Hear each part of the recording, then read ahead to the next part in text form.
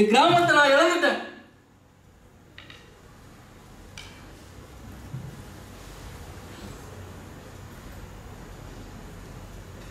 என் கிராமத்தை நான் இழந்துட்டேன்.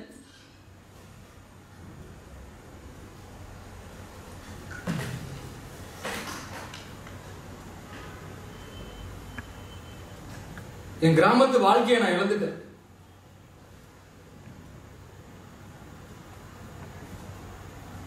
என் சொந்த ஊருக்கு என்னால் போக முடியல.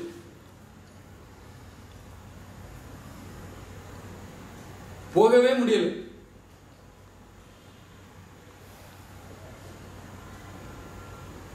உங்களுக்கு தெரியுமா? ஆ? நான் என் சொந்த ஊருக்கு இப்போ எத்தனை வருஷம் ஆச்சுன்னு?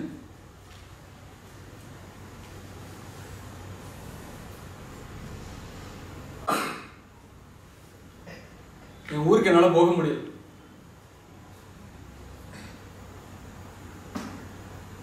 என் சொந்த ஊருக்கு என்னால் போக முடியல.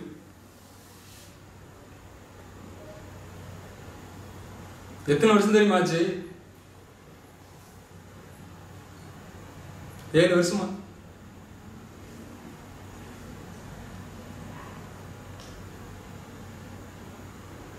எவ்வளவு அழகான ஊர் தெரியுமா? பச்சை பசேல்னு இருக்கும். எங்க பார்த்தாலும். காத்து ஜில்லுன்னு அடிக்கும்.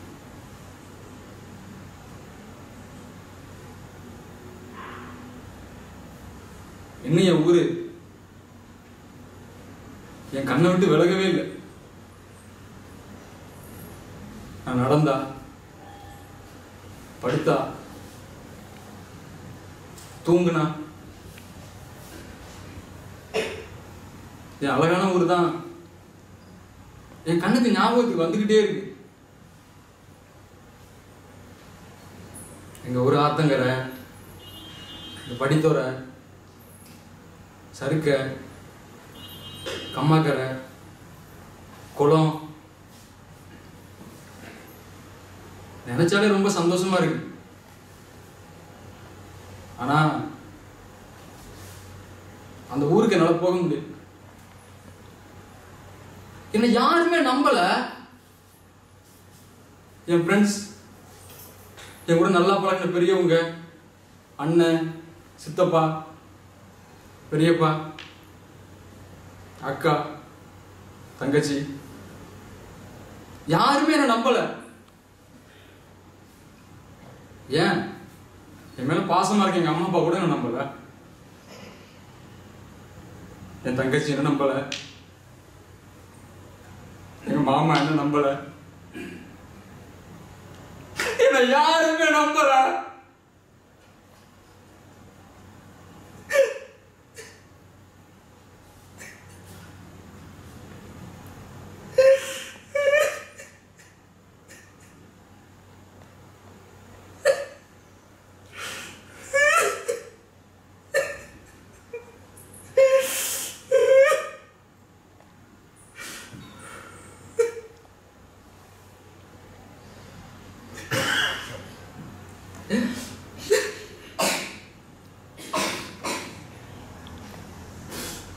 நீ நல்லா யோசிச்சு பாருங்க.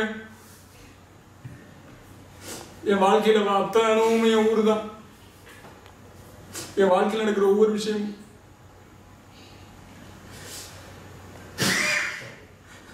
எனக்கு கற்றுக் கொடுத்த பாடம் எல்லாமே என் கிராமம் தான். சொந்த ஊர் தான். நான் படிச்ச பள்ளிக்கூடம்.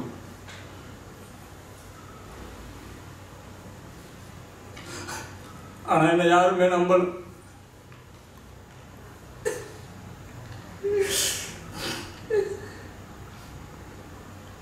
நான் எல்லாருமே எவ்வளவு அன்பு தெரியுமா வச்சிருந்தேன்?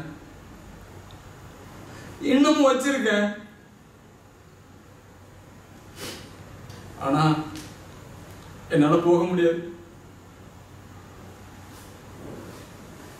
ரொம்ப பிடிக்கும். ரொம்ப பிடிக்கும். நான் செத்தா நான் செத்தா அங்கதான் சாகணும்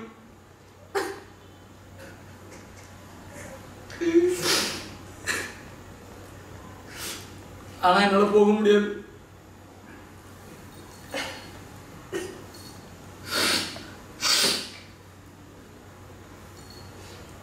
எவ்வளவு கேவலமான உலகம்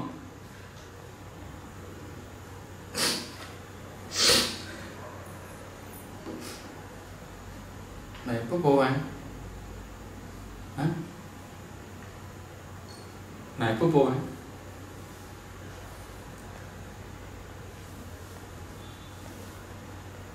கடைசி வரைக்கும் நடக்கவே நடக்காதா? நடக்கும். ஆனா நான் போக மாட்டேன். என்ன யாருமே மதிக்காத ஊருக்கு நான் ஏன் போகணும்? தேடி வரட்டும். எல்லாரும் என்ன தேடி வரட்டும். நான் ஏன் போகணும்? நான் ஏன் போகணும்? கண்டிப்பா ஒரு நாள் பெரிய ஆளா வருவேன். நீங்க எல்லாம் பார்க்கத்தான் போறீங்க. ஆனால் நான் போக மாட்டேன் என்ன தேடி வரட்டும்.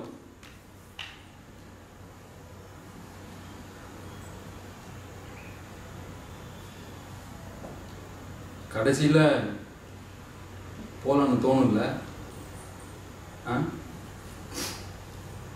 தோணும்ல கடைசியில் போகலான்னு அதை அப்போ பார்த்துக்கலாம்.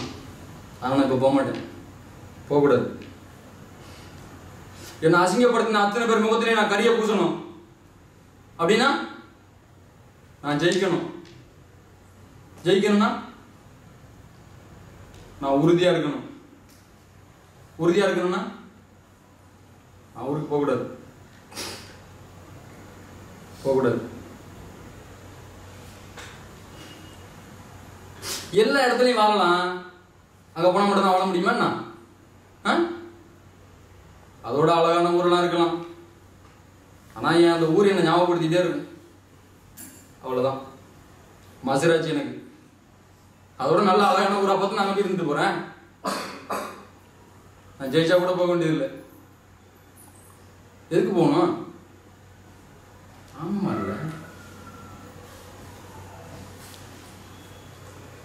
அங்கே போய் என்ன பண்ண போகிறோம்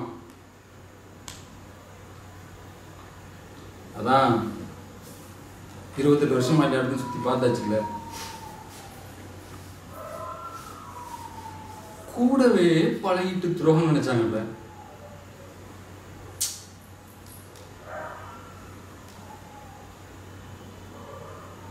இப்ப நல்ல நண்பர்களோட பழகிட்டு அங்க போய் வரலாமே?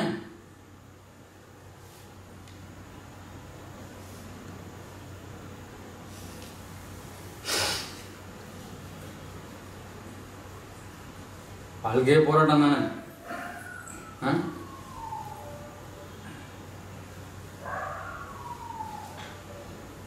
உலக வாழ்க்கையில அனைத்து உயிர்களுக்குமே போராடித்தான தானே வாழ்க்கையில வெற்றி பெற வேண்டியிருக்கு.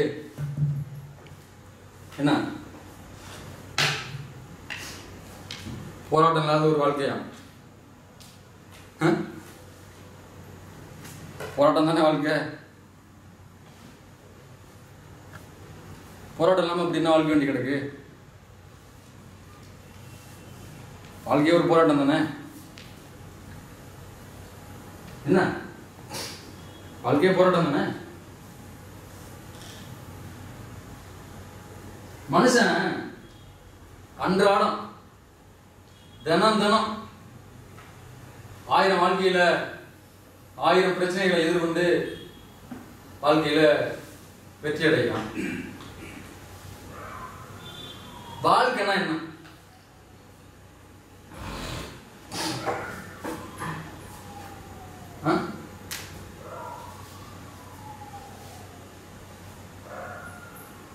யோசிங்க.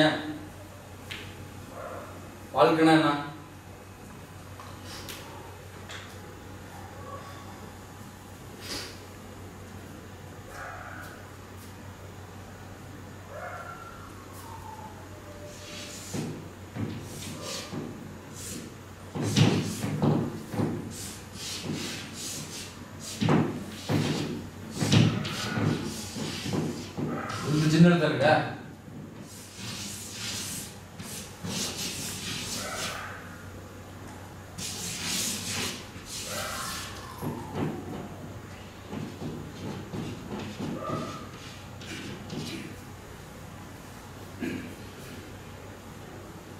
தப்பா இருக்கோ இல்லை. இல்லு தப்பா. கரெக்டு தானே? இல்லு சரியா இருக்கா?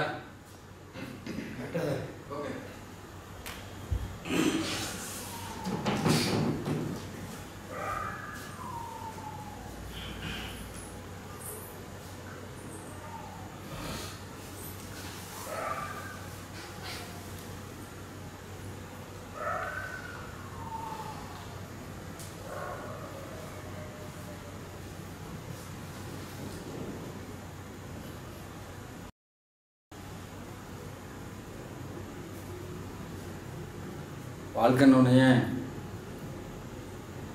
நம்மளை சுற்றி அப்படியே ஊர் மாநிலம் மாவட்டம் இப்படியே கடந்து கடந்து வந்து நம்ம தேசத்துக்குள்ளே வந்து நிற்கிறோம் உடனே தேசத்தை பற்றின சிந்தனைலாம் வந்துடுது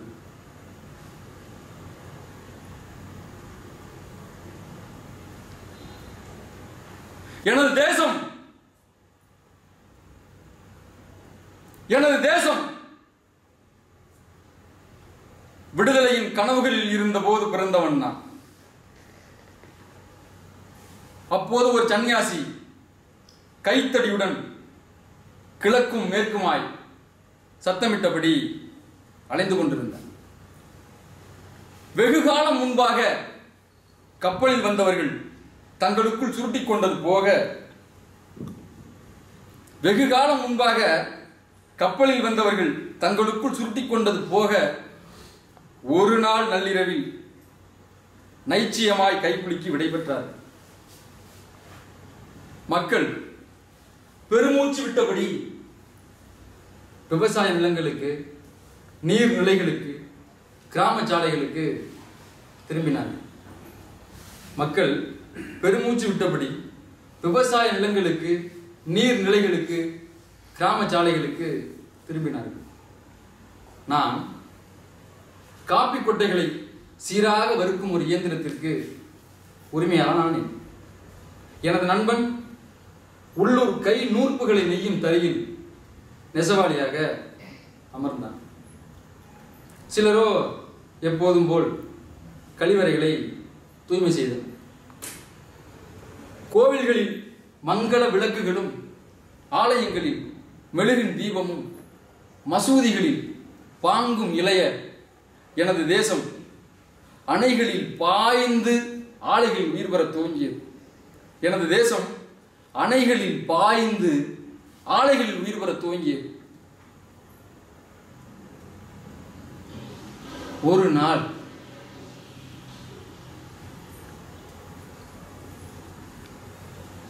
ஒரு நாள்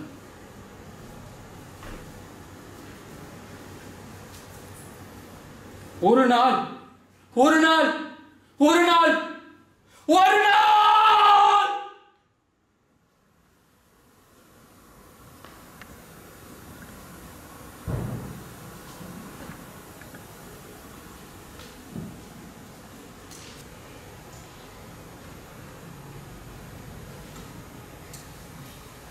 ஒரு நாள்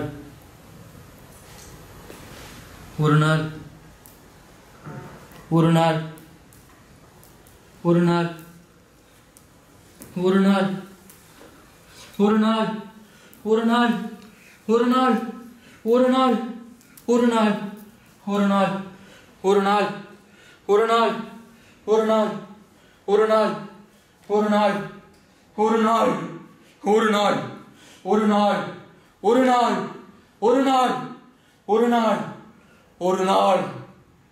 ஒரு நாள் ஒரு நாள்.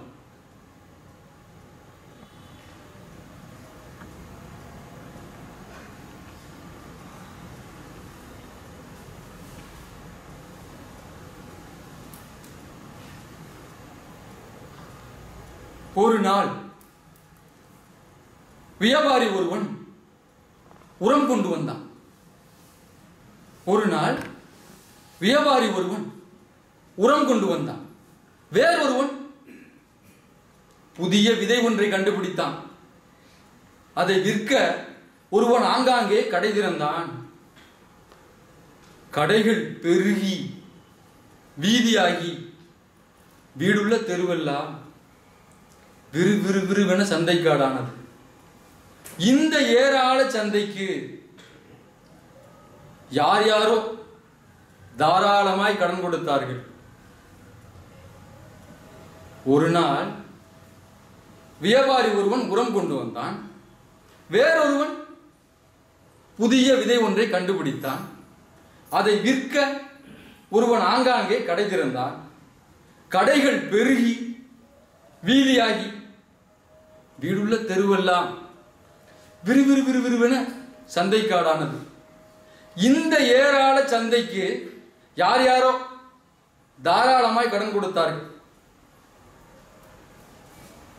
இப்படித்தான் நண்பர்களே என் இயந்திரமும் என் கையை விட்டு போனது. என் நெசவாளி நண்பனும் நேற்று தான் செத்தான்.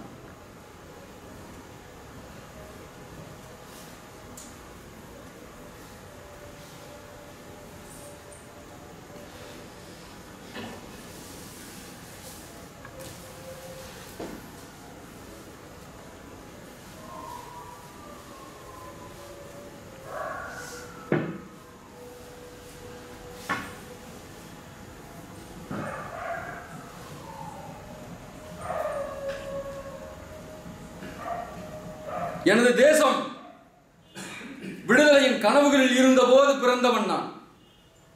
அப்போது ஒரு சன்னியாசி கிழக்கு மேற்குமாய் அலைந்து கொண்டிருக்கிறார் வெகு காலம் முன்பாக கப்பலில் வந்தவர்கள் தங்களுக்குள் சுருட்டிக் கொண்டது போக ஒரு நாள் ஒரு நாள் நள்ளிரவில் நைச்சியமாய் கைகுலுக்கி விடைபெற்றார்கள். மக்கள் பெருமூச்சு விட்டபடி விவசாய நிலங்களுக்கு நீர்நிலைகளுக்கு கிராம சாலைகளுக்கு திரும்பினார்கள். நான் காப்பி கொட்டைகளை சீராக வறுக்கும் ஒரு இயந்திரத்திற்கு உரிமையாளர் நானே. எனது நண்பன் உள்ளூர் கை நூற்புகளை நெய்யும் தரியில் நெசவாளியாக அமர்ந்தான் சிலரோ எப்போதும் போல் கழிவறைகளை தூய்மை செய்தனர். கோவில்களில் மங்கள விளக்குகளும் ஆலயங்களில் மெழுகின் தீபமும் மசூதிகளில் பாங்கும் இளைய எனது தேசம் அணைகளில் பாய்ந்து ஆலைகளில் உயிர் வர துவங்கியது.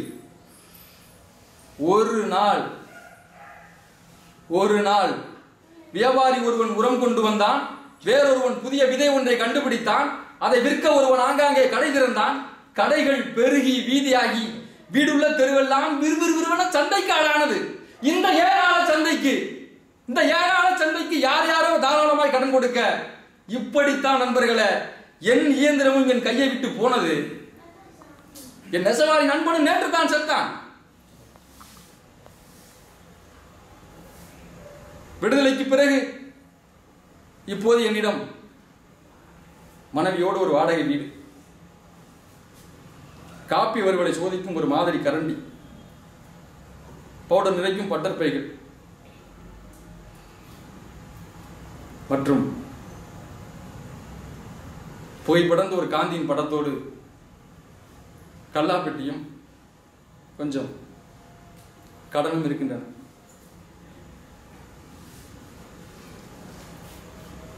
தன்னுடைய சுயநலத்துக்காக இந்த மண்ணையும் வித்தையும் மலடாக்கணும்னு நினைக்கும் போது தன்னோட சுயநலத்துக்காக இந்த மண்ணையும் வித்தையும் மலடாக்கணும்னு நினைக்கும் போது தர்மத்துக்காக தன்னுடைய சகோதரன் கூட பார்க்காம துரியோதனை அடிச்சு தும்சம் பண்ணான பீமன் ஆ? தர்மத்துக்காக தன்னுடைய சகோதரன் கூட பார்க்காம துரியோதனை அடிச்சு அடிச்சு தும்சம் பண்ணான பீம அப்ப அது கூட சரிதான் போல ஆ? இப்போ இப்போ நான் பீமனா வரேன். இப்ப பீமனா வரேன்.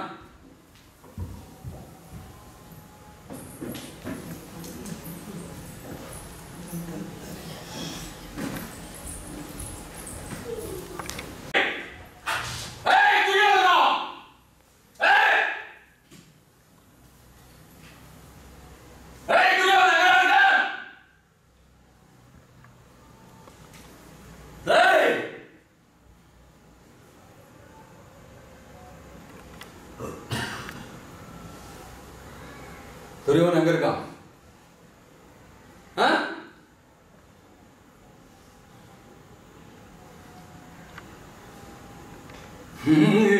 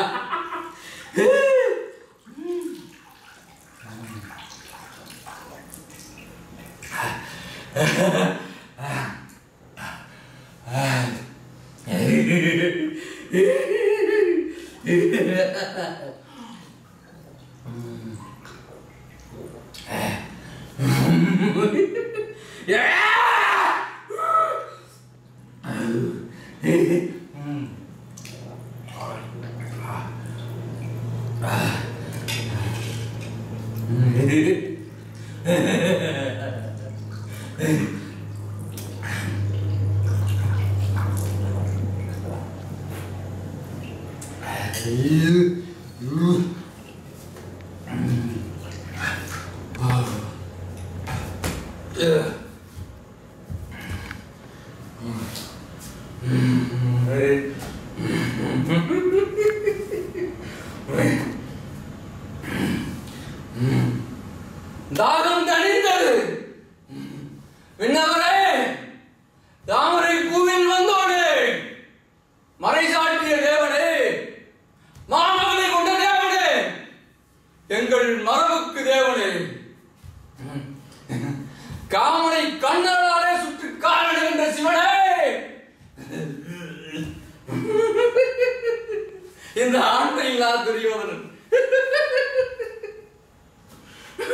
இந்த ஆண்மை இல்லாத துரியோதனன்.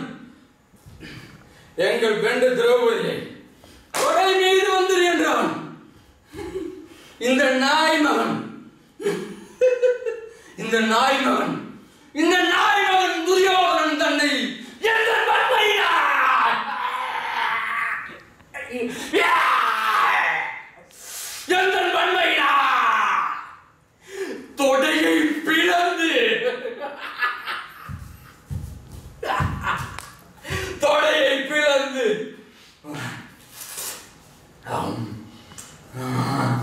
தொடையை பிளந்து உயிரை மாய்த்தை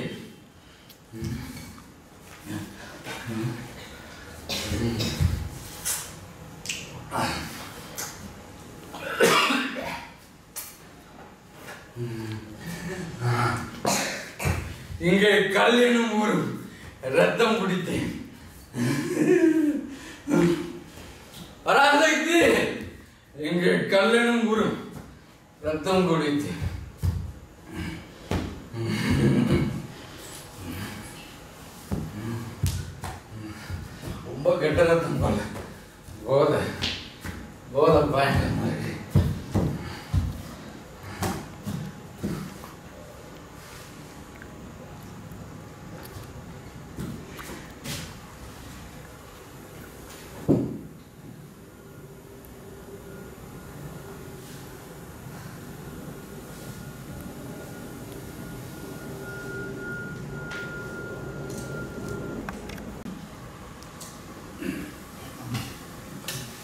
நன்றி வணக்கம்.